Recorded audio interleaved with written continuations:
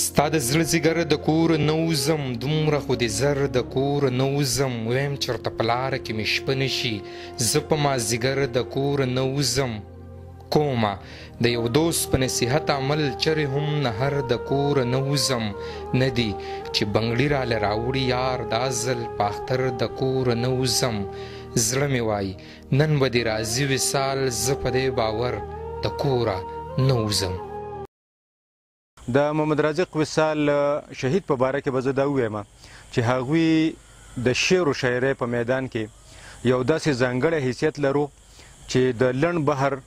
او په ساده ژبه کې د هغه کوم لیکل کومې غزلې خاص کر زه د هغوی غزلو ته حیران یم چې په کم مختصر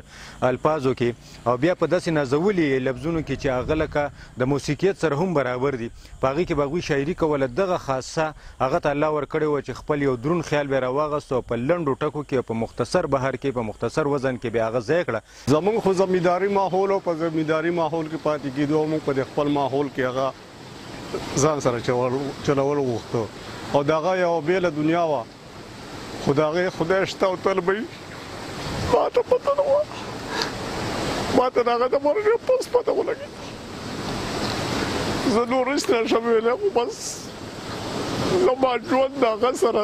تباه شوی دی او تباه شوی دی او تباه شوی الله دې رحم وکړي هغه به زه کم کم کمې زه تاسو ته یادوم چې دغه